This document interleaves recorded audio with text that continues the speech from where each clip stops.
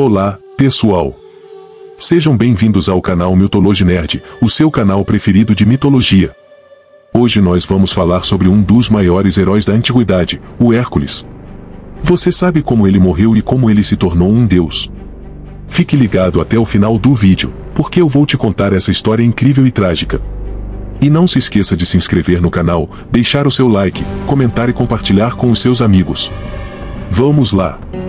Hércules era um semideus, filho de Zeus, o rei dos deuses, e de Alcmena, uma mulher mortal. Ele era famoso por sua força sobre-humana e por ter realizado os doze trabalhos, missões de grande dificuldade que ele fez para se purificar de um crime terrível de matar sua primeira esposa, Mégara, e seus três filhos, em um acesso de loucura causado pela deusa Hera, que o odiava por ser fruto de uma traição de Zeus.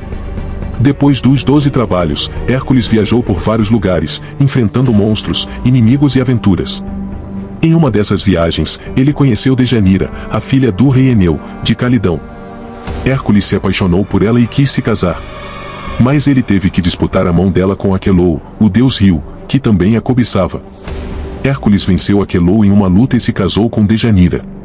Eles tiveram um casamento feliz, até que um dia, eles precisaram atravessar um rio. O rio era muito caudaloso e perigoso, e Hércules não queria arriscar a vida de sua esposa. Por sorte, ele encontrou um centauro chamado Nesso, que se ofereceu para levar Dejanira nas costas, enquanto Hércules atravessava o rio a nado. Mas Nesso tinha segundas intenções. Ele tentou violentar Dejanira, que gritou por socorro. Hércules ouviu o grito e atirou uma flecha envenenada no peito de Nesso. O centauro, agonizando, disse a Dejanira que, se ela quisesse manter o amor de Hércules para sempre, ela deveria guardar um pouco do seu sangue e usá-lo como um filtro mágico. Dejanira acreditou nas palavras de Nesso e guardou um pedaço da túnica dele, manchada de sangue. Ela não sabia que o sangue estava contaminado pelo veneno da Hidra, um dos monstros que Hércules havia matado em seus doze trabalhos. Esse veneno era tão poderoso que podia queimar até mesmo os deuses. Algum tempo depois, Hércules foi a Traques, para oferecer um sacrifício a Zeus.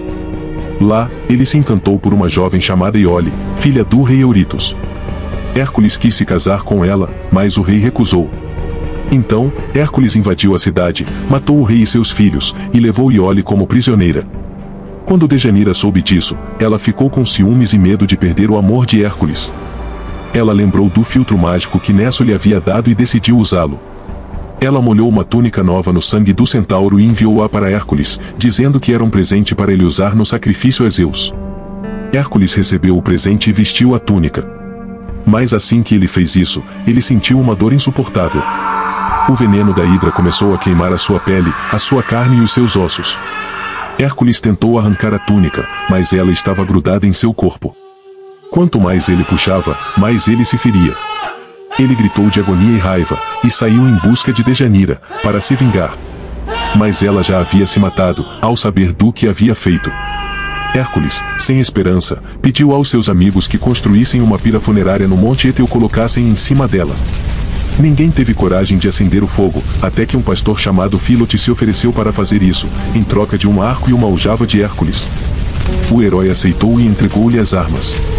Então, Filotes acendeu a pira e Hércules ardeu em chamas. Mas o seu sofrimento não foi em vão. Zeus, seu pai, viu o que estava acontecendo e decidiu intervir. Ele enviou uma águia para resgatar a parte divina de Hércules, que ainda estava intacta. A águia levou Hércules para o Olimpo, onde ele foi recebido pelos deuses como um deles. Hera, finalmente, se reconciliou com ele e lhe deu sua filha Hebe como esposa. Hércules, então, alcançou a imortalidade e a felicidade que tanto merecia. E assim termina a história de Hércules, o maior herói da mitologia grega. O que você achou? Você conhecia essa versão do mito? Você acha que Hércules foi justo ou injusto com Dejanira? Deixe a sua opinião nos comentários. E se você gostou desse vídeo, não se esqueça de se inscrever no canal, deixar o seu like, comentar e compartilhar com os seus amigos. Até a próxima!